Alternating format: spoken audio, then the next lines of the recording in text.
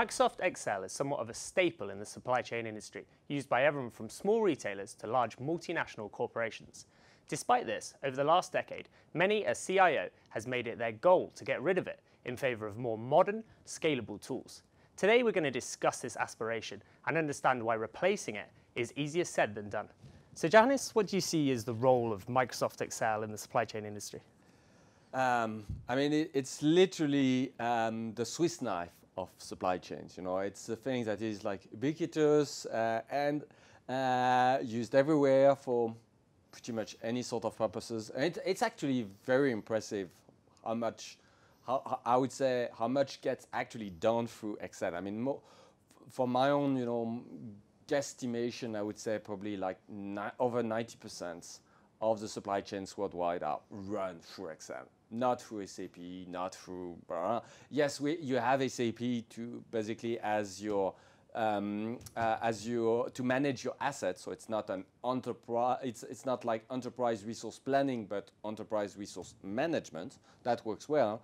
But as far you know, um, the, the the predictive supply chain optimization is concerned, I would say over 90% of it is presently done uh, across all the markets through, through Excel. So if over 90% of the industry is using it, why is it so popular?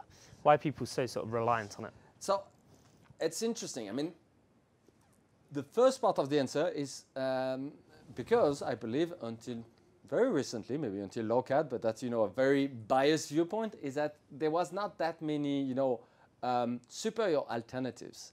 Uh, because most of the supposedly superior alternatives are actually not superior uh, in, in, in, several ways that we can describe. So first, uh, people did not, you know, drop Excel, not because they were, you know, stupid and, uh, and, and religiously attached to Excel, but just because um, there was no actually credible alternatives. And I believe to a large extent this is true. Okay, so what are, what are the characteristics then of Excel, which are its key kind of strengths, and why do people like that? One of the things that makes it very, very powerful is that um, you can combine two things which are, um, I would say, program, uh, programmability uh, and um, uh, the level of expressiveness that comes with this sort of, uh, of system.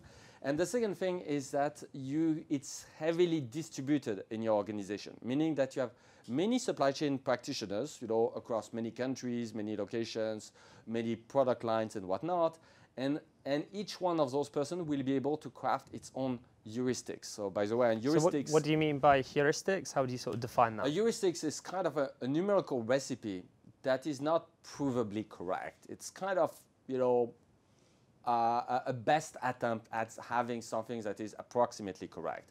The, the, the, the, from a, usually from a pure mathematical perspective, the heuristic is not even correct. You know, it's, it's, uh, but it kind of works. Just to give you the sort of heuristics that you will find uh, in supply chain would be, well, the amount of stock that we want to keep is um, uh, exactly twice the number of units that we sold last year at the same period, considering a, a, a three-month window.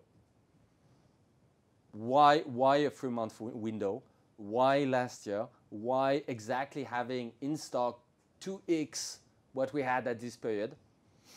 That's just a heuristic. You know, that's, that's, that's like a, a, a numerical uh, recipe that has been kind of battle tested and it kind of works. And sometimes you don't even know exactly why it works, but it has been tried and tested and the, the, the, magic numbers like the duration for the time window, the, the, the factor that you use, all of that has been kind of tried and tested and slightly adjusted over time. And from one division to another, from one location to another, I mean, all those heuristics varies. And um, what is great about you know, the spreadsheet is that you can have them um, uh, embedded into your organization through, I would say, a whole sea of spreadsheets that implement all those super diverse heuristics. Okay, so what we're kind of seeing in the industry then is that this basic approximation is good enough and a lot of supply chains have basically been running on that for decades. Exactly. I mean, when you say good enough, that's, that's also something that is interesting, is that they have been also running on it for decades. And um, from my perspective, it's interesting because now, nowadays, uh, I would see Excel as a technological dead end. So companies have already had ample time to come up with their heuristics, refine them, and get the most of them. So it's interesting, and they got to the point where they had already reached, I would say, the most of those heuristics that you can have with um, Excel. And when I mean Excel, I don't mean just Excel. I mean any kind of software that gives you, uh, you know, a, a spreadsheet-like, you know, environment. So, for example, Google Sheet would just be exactly the same than Excel in this respect. It doesn't matter if it's exactly Excel. What matters is that it's the the the, the spreadsheet data model that is, you know, um, uh, that is important here the fact that it's Excel or maybe the Open Office uh, alternative doesn't doesn't really matter. So interestingly, so those companies explored, you know, what you can do with um, with a spreadsheet um, during the 90s, and I think they, they, they reached a point of, of for many large companies of having something relatively stabilized um, in in the early 2000s. So we are now nearly, I would say, two decades down the, the road of having something that has been already kind of stabilized, where there is nothing really new in this respect. And, um, and it's, it's indeed a technological dead end because once you've compiled all those heuristics, once you, you've done that, the only things that are left are, I would say, things that are slightly inconsequential. So you say it's a technological dead end. So what's, what's really missing then? What's the problem with this kind of spreadsheet-based approach? I mean, First, there are some people who misunderstood what are the limitations of Excel. Um, some people uh, think, or you know, I mean, a, I would say it's a common misunderstanding. I would say uh, that um, you have a scalability problem with uh, with Excel that you cannot process a lot of data.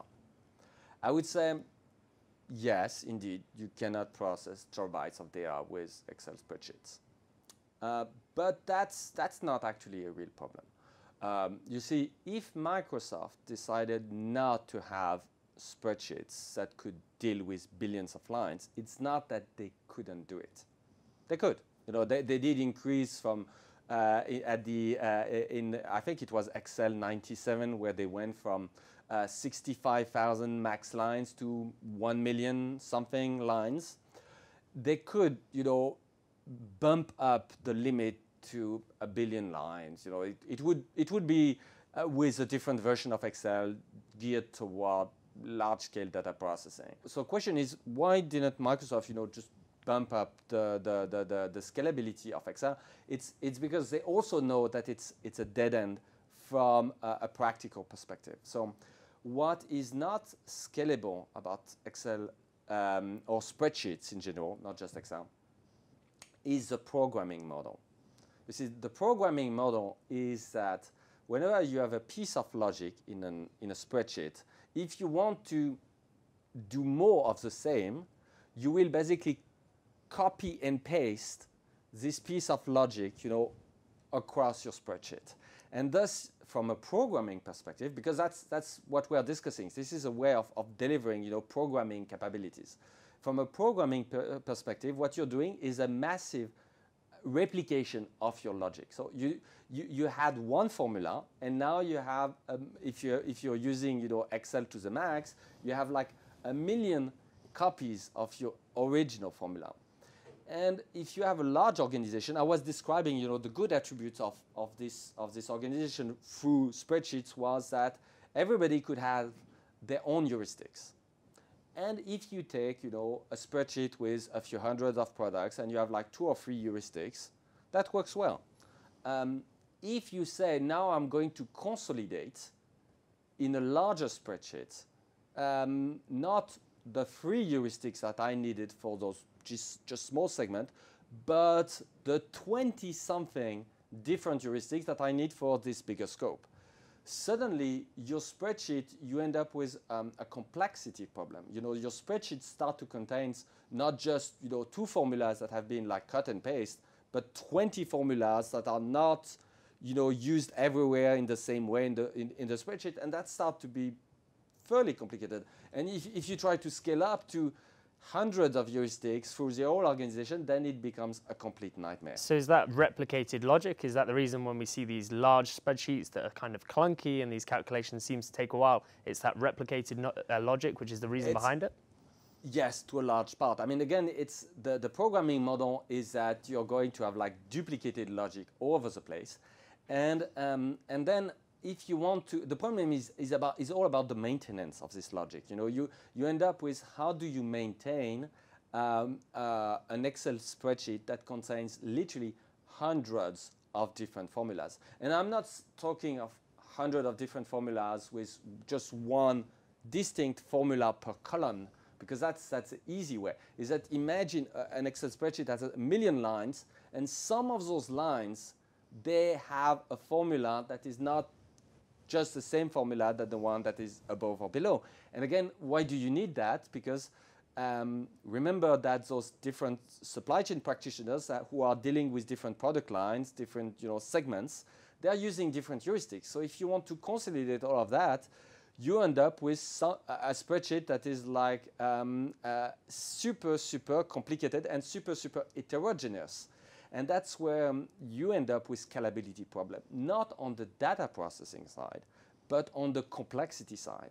Uh, spreadsheets do not cope uh, uh, well with increased complexity, and it really becomes a nightmare to maintain and even to debug and even to, to understand what is going on in this in this large spreadsheet. Okay, so how can you move away from these spreadsheets then? Because I mean, these are things that organizations have spent years constructing. There's a lot of logic held within them. So how can you move away from that? So first, you will need programming capabilities. But then, do you want to replicate what you had before? And that's, that's where I, I, I fundamentally know you need something else. Why? Because if you just try to replicate the logic that you had, the spreadsheet logic that you had before, you end up with something that is not going to be better than what you had before. You know, it's it's only going to be very, very marginally better in the sense of slightly better backups, slightly better, you know, access rights management and whatnot. So fundamentally, um, if you if you just say, okay, I want to take my spreadsheet and replicate that into another system, um, then you're going to be stuck in this technological dead end that I was describing. So you're going to have maybe a few percent more uh, of, of efficiency, but that's going to be uh, very thin. And once you're, you're done with that, you will get nothing better. And, and you can also have some drawbacks, you know, because uh, the problem is that this, this system that is supposedly to be marginally better it is also slightly more rigid. You know, the, what you're going to lose is that if you enforce a certain backup a way of doing backups, a certain way to access the, the data, then you're probably going to lose a tiny bit of agility. So you will gain marginally on some stuff, but you will lose on agility. So I would say net gain is going to be very, very thin. So you need to think of something that will go beyond what you can get through heuristics. So heuristics were nice. You know, heuristics were probably um, all about those, those discoveries that were made in the 90s was that you could just program through Excel sheets all those, you know, I would say uh, uh, insights and get your company rolling at scale with that. Now, if you want to go beyond that, you need to reinvent yourself and go uh, with something that gives you a chance to do better than that. Okay, you mentioned there sort of the Googles and the Amazons who have sort of gone beyond this and sort of are implementing these more modern approaches. Um, what can we learn from them and what they've implemented? Uh, I mean, that's the, the, the, the crux about you know um, modern machine learning is how do you pass the stage of um, rule-based system? You know, the first stage about copying the human intelligence uh, in the 60s was those uh, for, for, for people who have maybe studied a bit the history of artificial intelligence. It was um, rule-based engines, you know, decision uh, decisions engines. So and the heuristics that are used in supply chain are exactly that. They are kind of rules to decide whether you should purchase more, whether you should, uh, you know, buy more, produce more, uh, allocate more in, in one location or another. Um, and, and we have reached this stage of, you know, of having like rule-based systems and we have tuned the rules. And, uh, and if we look at what the Google and Amazon are doing, they say, oh, we are doing machine learning. So it becomes a buzzword, and when it's very advanced machine learning, it, it qualifies as maybe being AI. But fundamentally, uh, it, it's something that is very simple, is that say, instead of having like a static set of rules that are manually maintained, um, we want to kind of learn those rules from the historical data. Now, you, what you need is um, uh, is basically so you have those programming capabilities, but you need like machine learning capabilities so that most of those heuristics can be actually learned directly from the data itself. And it's not necessarily something that is like, I would say, exceedingly complicated. But the trick is that if your programming paradigm is incorrect, then it just do not work, and thus what you learn just do not work. Uh, and, and here we go back to something that is very interesting in specific case of uh, supply chain is that the, the, the dominant you know, paradigm for quantitative supply chain until I would say probably until a few folks like Amazon or maybe Lokad you know, started to think to see things otherwise was to have um, classic demand forecast where you say there is only one future, we do the forecast, and then everything is based on this one future. Unfortunately, if you tackle the problem from this starting point, it just do not work, and you never manage to replicate the performance of those supposedly dumb heuristics. If you want to outperform those heuristics, you need to go for from the probabilistic, uh, I would say, forecasting perspective, and then you can have a chance to outperform those heuristics. And by the way, that's exactly what uh, Amazon seems to be doing. I mean, I, I don't have, you know, uh, uh, secret information about what they're doing, except uh, what they publish and what their research research teams are actually publishing. Okay, if we start sort of drawing things together now, um, what would you say to a skeptical supply chain practitioner who's probably watching this and they've got their systems which are kind of working, maybe a bit clunkily, but they are working using Microsoft Excel? Mm. I mean, is there really an incentive to move away from that? Um, I would say if, if, you're, if you're using Excel and you probably have been for, for, for let's say, one or two decades, uh, uh, the first thing would be um, to acknowledge that you are in a technological dead end, meaning that it might be good, but it's not going to go any better. Do not expect that the next version of Microsoft is going to solve anything. Excel is already an excellent product. Um, I would say it's very stable, it doesn't crash, it's actually fairly scalable. Uh, and it's so, so it has already tons of good properties. It's not going to get really better. The spreadsheet-like um, alternatives are not going to make, I would say, any difference. They super marginally, but fundamentally, it's not going to make any difference. So now, the question is that can you live with the fact that it's that it's you're just in a dead end? Um, you know, there are some industries where it's just fine, you know, um, where things are, people accept that things are just not going to be really improved anytime soon. Maybe your industry can live, you know, being in a plateau, but uh, as far as supply chain is concerned, what I see is that some, you know, there are some companies that like, you know, the Amazons, the Zalandos of this world, the Rakutens, the Alibaba, that are very aggressive technologically speaking. And they are growing very fast and they are really achieving results that supply chain wise are, um, you know, humbling for the rest of the industry. So, um, and they are not doing that with spreadsheets. So I think the lesson is you're on a plateau. Some people are, you know, doing way better and it's not marketing hype. I mean, the growth of Amazon is real. Uh, the growth of Alibaba is very real. I mean, there are some, some people who are succeeding at doing, uh, of, achieving very large success at very large scale. Uh, so my, my message would be, can you really afford to be and to remain in a technological dead end? Maybe, maybe not. Okay, so to sort of conclude then, would you say that Excel's running on borrowed time and you can actually see a day when there's no Excel at all in the industry?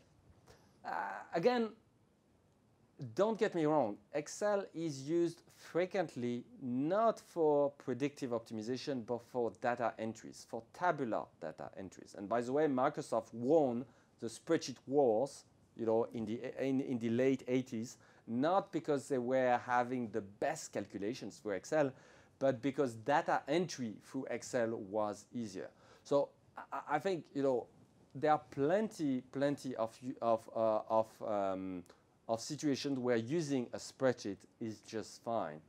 What I'm saying is that if you want to do predictive supply chain optimization of a somewhat complex supply chain network, uh, Excel is, for this specific purpose, a dead end. For plenty of other things, Excel is just fine. Okay, we'll have to wrap it up there, but watch this space, I guess. so that's everything for this week. Thanks for tuning in, and we'll see you again next time. Bye for now.